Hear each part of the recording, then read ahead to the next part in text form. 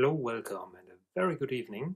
And today we want to have a look at the renovation sound card, which you might know because we assembled this thing a couple of weeks back. If you have missed that, there was a live stream, and I'll put a link down in the description and put an info card up there.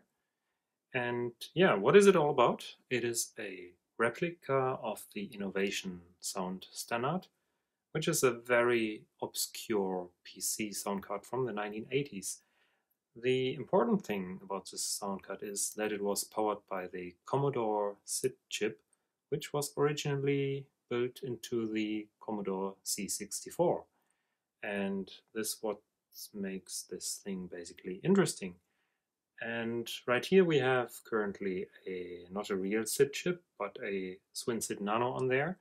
And there are different solutions for this thing because original SID chips, either the 6581 or the 8580, are actually pretty rare nowadays. They break very easily and they cost anywhere between 30 and 70 euros depending on which year and model they are.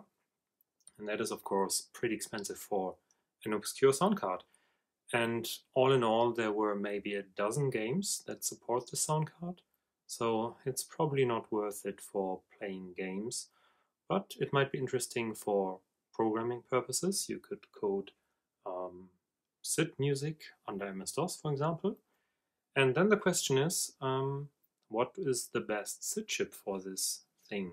Of course, an original one would be nice, and we will test one, because I have one here.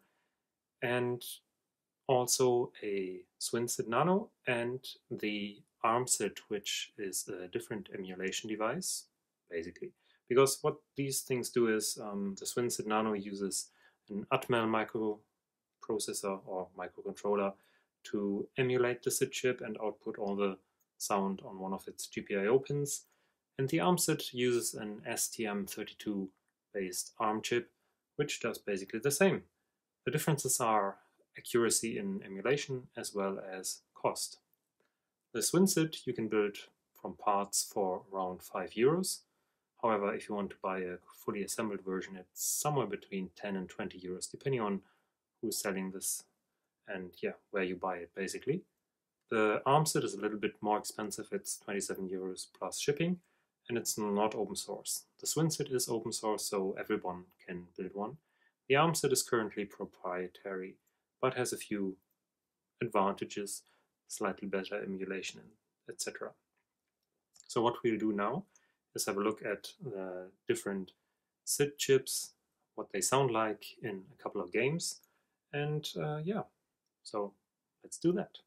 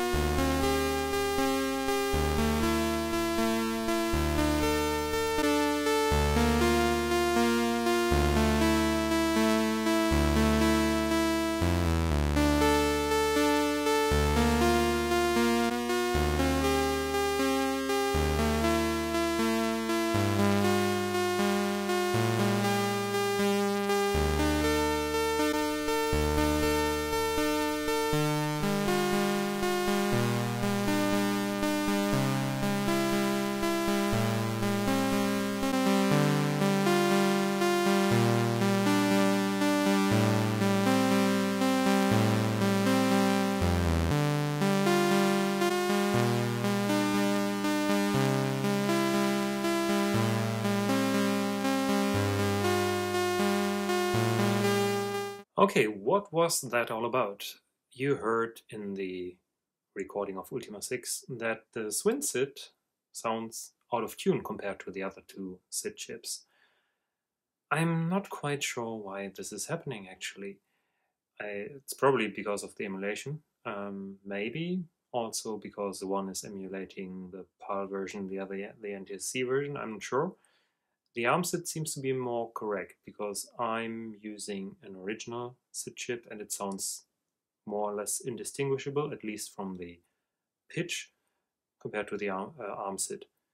The SwinSID, on the other hand, sounds a bit shifted, um, I think a little bit lower. And yeah, this is on itself not really noticeable, except maybe you have pitch perfect hearing, which I don't, but if you switch between the recordings, you notice that, which won't be the case usually, because you will only have one SID chip in there at a time. However, um, that being said, it's interesting that there are audible differences that even I can hear. But other than that, I thought both the SwinSID and the ARMSID sound reasonably well, at least for Ultima 6. It would be nice to have more software that supports the renovation sound card, which is currently not the case. Uh, we will have a look at a couple of other games, and there are not that many, but a few that support that. And maybe in the future some new software will come along. At least it will be pretty easy to code for the chip. There's a lot of information about programming the chip and you can just simply send stuff to the port that the card is listening to. For example, this is currently jumper to 280 hex and you could just fire up BASIC and send commands to the SID chip. So maybe we will hear something in the future. I think there are one or two video game music players that can play SID tunes with that. There's also a DOS version of the Vice emulator that can use this card. However, you need a very fast Pentium 2 or something for that to be useful because the Commodore 64 is actually pretty hard to emulate. So you need a pretty fast retro PC for that. Yeah, other than that, um, I will show you a couple of more games now. And as you can hear, the SwinSID actually has a different pitch than the other two SIDs. So I took the audio from Ultima 6 and imported it into Audacity. I normalized all the volumes more or less so that it sounds the same, but you can already see at the waveform that the chips definitely produce different output. With the 6581 at the top, then the ARMSID, and then the SwinSID. So let's start with the SwinSID and switch around between the different voices and you can definitely hear the pitch shifting right away.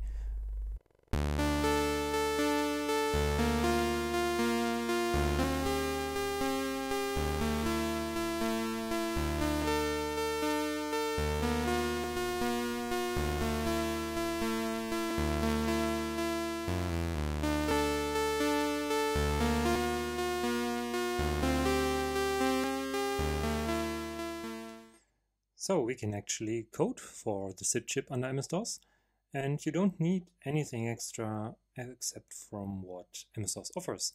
Here we're using QBasic, but GW Basic will work just as fine, I think. And if you didn't know, in QBasic and GW Basic you can write to hardware ports using the out command and the in command for reading.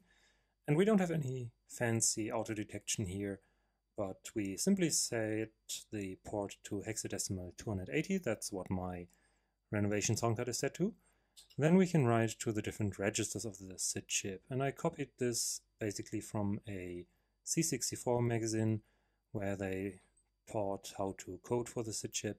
But we can use that for MS-DOS as well. You just have to adjust the addresses of the chip. Because on the C64 it's memory mapped and here we use I.O. ports.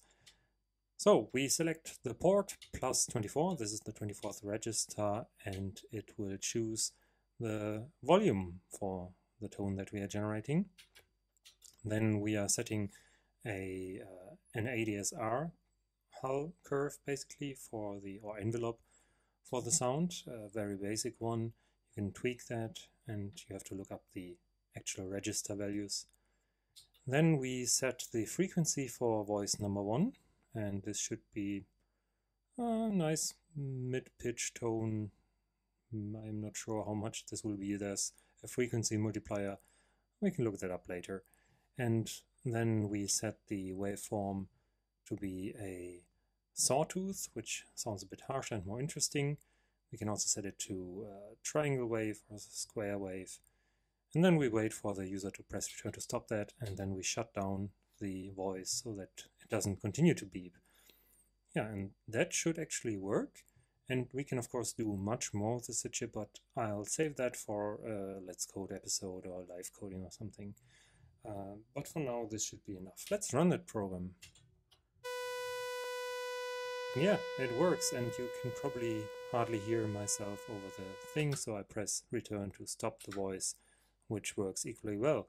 So that's pretty nice. You need only four lines of code, more or less, to uh, send some stuff to the SID chip to get some sound out of there. And I think this is very promising, so I hope we can code more for the SID chip in the future. For now, that should be it. Uh, let's have a look at some more games and their support for the Renovation sound card.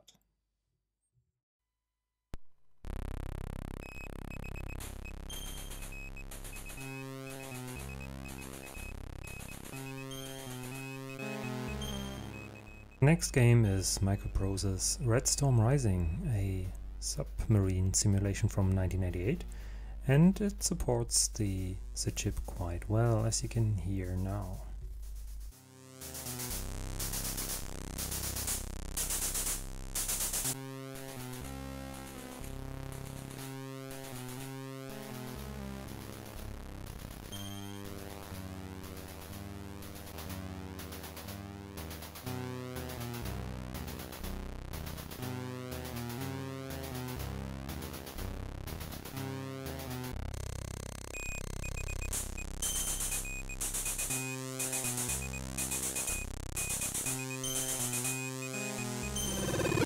Interplay's Lord of the Rings role-playing game is a special beast because it supports quite a few sound options, but uh, the Innovation Sound Standard is only supported for sound effects, and for music it will use the PC speaker or the AdLib or whatever you have in your system.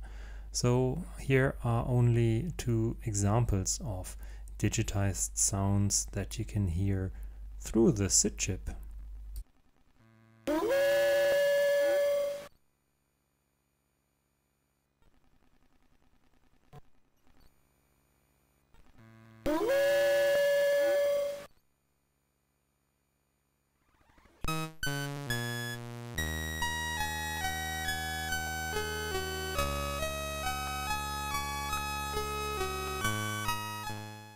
Windwalker is another pretty obscure game by Origin, and Origin as well as Microprose were actually the two main companies driving the Innovation Sound standard.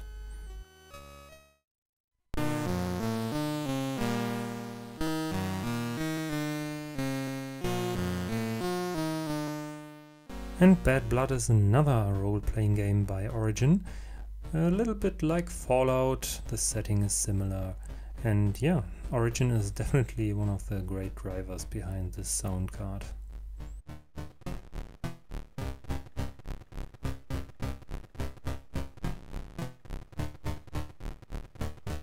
Okay, those were all the games that I wanted to show you.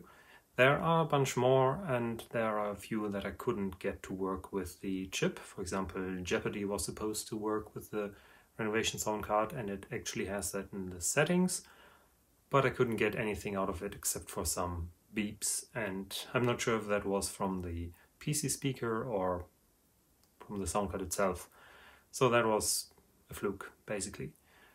But I think this is still a very interesting card, especially if you want to get into SID programming on sort of real hardware and you already have a retro PC and not a Commodore 64, like I don't have a 64. And for this, it's actually a nice thing to have. But it's definitely not for everyone because it's a very obscure device.